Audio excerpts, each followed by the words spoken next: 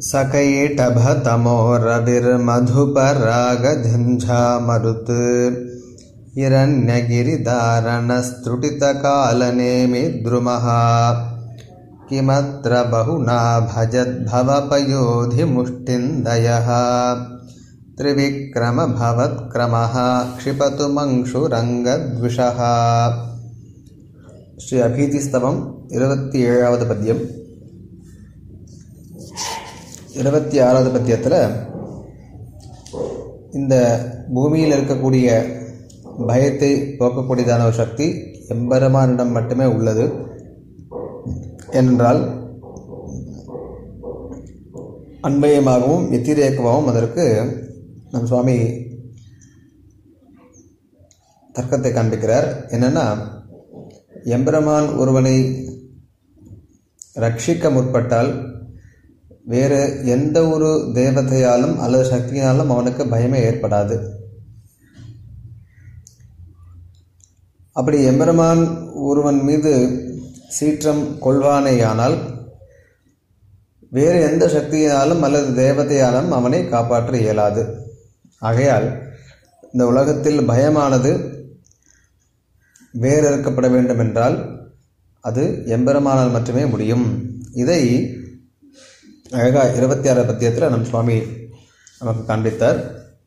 இந்த இருபத்தேழாவது பத்தியத்தில் அவனுடைய விக்ரம எப்படிப்பட்டது? அவனுடைய விக்ரமமானது விக்ரமம் அப்படின்னா அவனுடைய பலம். அது எப்படிப்பட்டது? அவனுடைய பராக்கிரமம் எப்படிப்பட்டதுன்றத ஒரு நாலு உதாகரணங்களை காட்டி நமக்கும் அந்த ஒரு நம்பிக்கையை ஊட்டுகிறார். அப்படிப்பட்ட எம்பெருமான் நிச்சயமாக லோகத்தில் பரவி இருக்கக்கூடிய பயத்தை போக்குவான்னு திருவிக்ரமா அப்படின்றது சம்போதன பதம். பவத் கிரமஹ கிரமம்னு சொன்னால் செயல். அதான் விக்ரமம் கிரமம் பராக்கிரமம் எல்லாம் சமான அர்த்தமாக வச்சுக்கலாம்.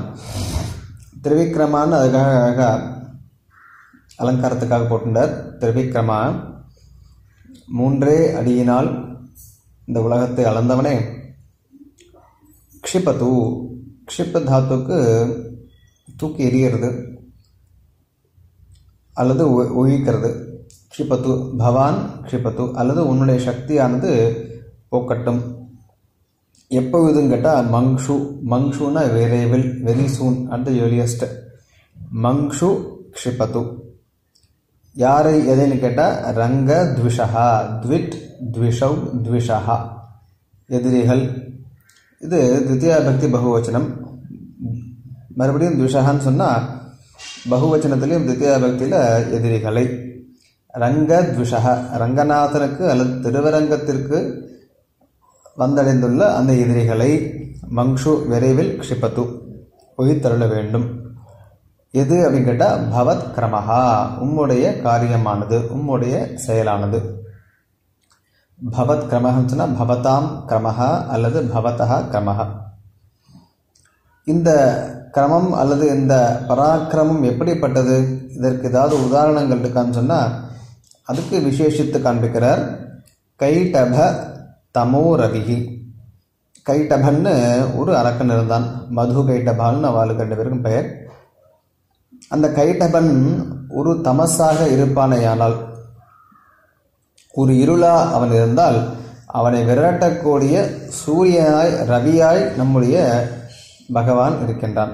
அப்போ கைட்டப தமசகா ரவிகி அது எம்பெருமானுடைய கிரமஹாக்கு விசேஷனமாக போடுது. அதற்கடுத்து மது பராக ஜஞ்சா மருத்து. இந்த மதுன்ற ரக்கன் இருக்கானே அவன் பராகம்னு சொன்னால் புழுதி டஸ்ட்டு பராக. அவன் ஒரு அந்த பெரிய திரண்ட திரண்ட புழுதியாக இருந்தான்னா அந்த புழுதியை விரட்டக்கூடியதாக இருக்கக்கூடிய ஜஞ்சா மருத்து ஜஞ்சா மருத்துன்னு சொன்னால் புயல் காற்று அல்லது சுயல் காற்று. எப்படி ஒரு காற்று பெருங்காற்று வீசினா அப்போ அதுக்கு வழியில் இருக்கக்கூடிய எல்லாத்தையும் அது தகர்த்துட்டு போயிடும். அப்போ மதுன்ற அரக்கன் பெரும் பூஜியாக இருந்தானா அவனை ஒழித்த ஜஞ்சா மறுத்தா உன்னுடைய செயலானது இருந்தது.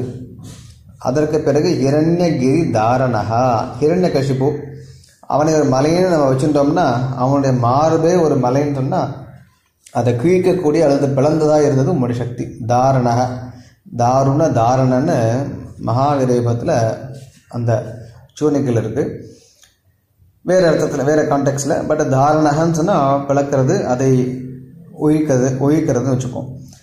அப்போ இரண்டகசிப்புன்ற ஒரு பெரிய மலையை ஒழித்ததாக இருக்கக்கூடிய உம்முடைய காரியம் அல்லது செயல்.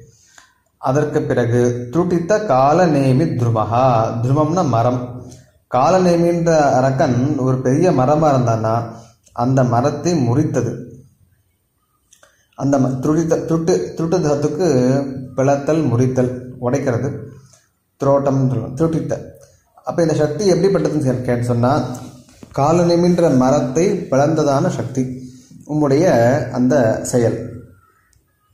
கிம் அத்திர பகுனா கிமத்திர பகுனானா இவ்வளவெல்லாம் ஏன் அப்படின்னு சொல்கிறோம் இல்லையா?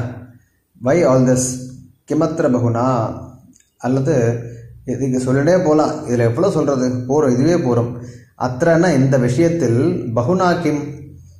எதுக்கு இன்னும் பேசிகிட்டே போகிறது பஜத் பவ பயோதி முஷ்டிந்தயா சஹா.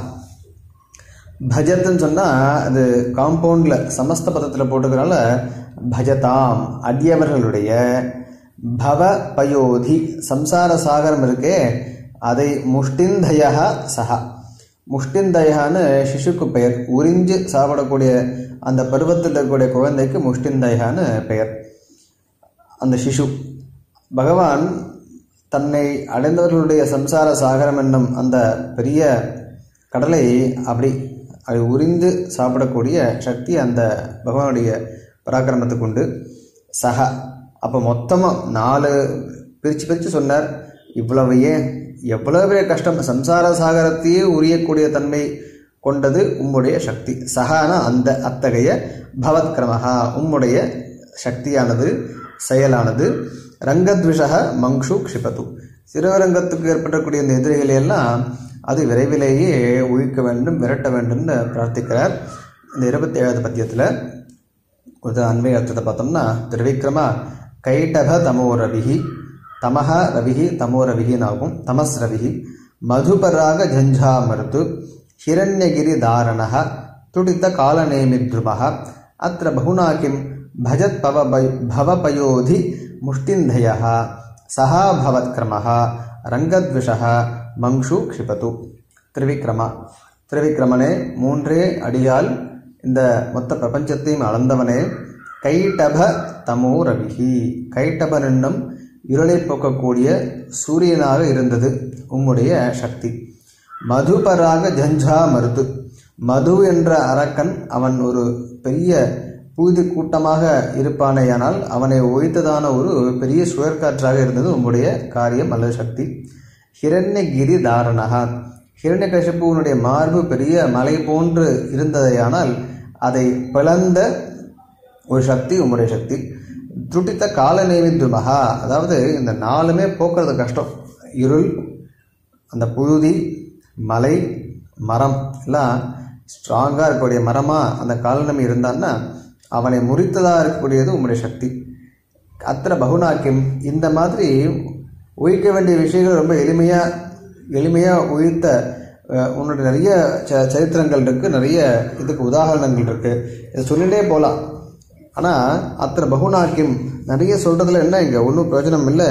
ஏன்னா பஜத் பவ பவ பயோதி முஷ்டிந்தயகான்ற நமக்கு இருக்கக்கூடிய பெரிய துயரமே சம்சாரன்ற துயரம் தான் அதுதான் பெரிய கடல். மிச்சம் கூட இதை கம்பேர் பண்ணால் மிச்சதெல்லாம் கூட ரொம்ப சின்னது. அப்போ அடியார்களுடைய இந்த சம்சார சாகரம் இருக்கு இல்லையா நடுவில்? அதை ரொம்ப எளிமையாக ஒரு சிசு எப்படி உரியுமோ அந்த மாதிரி உரியக்கூடிய சகா பவத்கமகா அத்தகைய உம்முடையதான அந்த செயல் இருக்க சக்தி இருக்கு. ரங்கத்விஷகா திருவரங்கத்தினுடைய எதிரிகளை மங்ஷு க்ஷிபத்து விரைவிலேயே ஒழிக்க வேண்டும். இது க்ஷிப்பத்துன்றது லோட் லகாரம் பிரதம புருஷா ஏகவச்சனம். இதான் இருபத்தி ஏழாவது பத்தியம் ஸ்ரீ அபீதிஸ்தவத்தினுடைய இருபத்தி ஏழாவது பத்தியத்தினுடைய அர்த்தமும் அண்மையும் ஆகிறது. ஸ்ரீமதி நிகமாந்த மகாதேஷ்காய நமகா